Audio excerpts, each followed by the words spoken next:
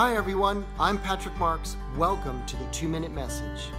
John 11:25 says that Jesus said to Martha, "I am the resurrection and the life.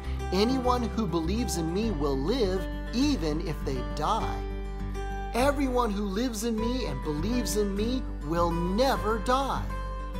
Then he asked, "Martha, do you believe this?"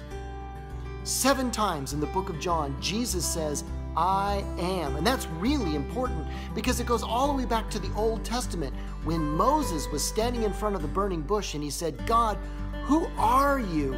God said, I am.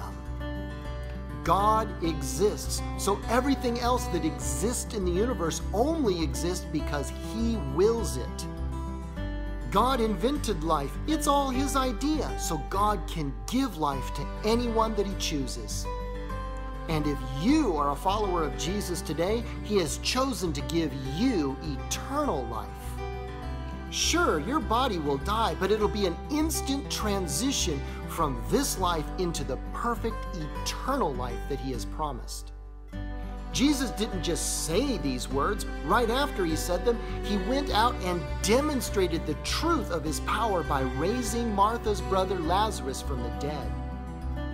He has promised that even if you die, your real self, your ability to know, your memory, who you are, will last forever with Him in a perfect eternal life.